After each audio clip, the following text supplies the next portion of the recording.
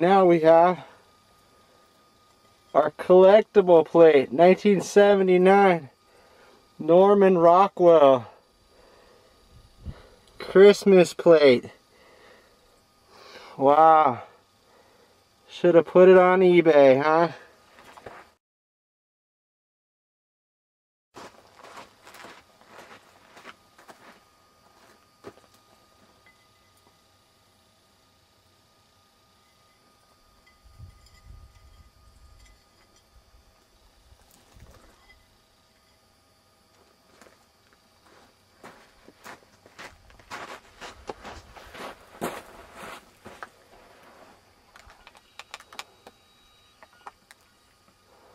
Okay, bye-bye Santa.